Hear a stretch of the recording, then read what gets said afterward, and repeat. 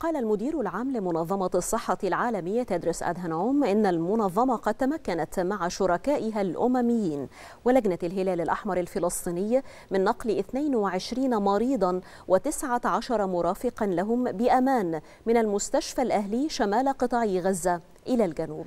أشار أدهنوم إلى أن المنظمة قادت قبل يومين مهمة أممية مشتركة أخرى لنقل 151 مريضا وأقاربهم وعاملين في المجال الطبي من مستشفى الشفاء. But in this conflict, still, I think those who need the support should be supported. نشرتنا تتواصل معكم على شاشة التلفزيون المصري وتتابعون فيها.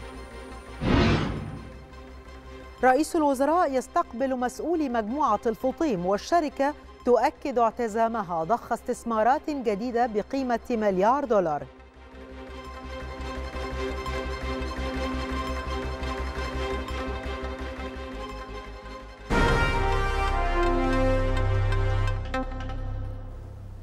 التقى رئيس مجلس الوزراء مصطفى مدبولي مع مسؤول مجموعة ماجد الفطيم القابضة وذلك لاستعراض استثمارات ومشروعات الشركة المرتقبة في السوق المصرية خلال الفترة المقبلة.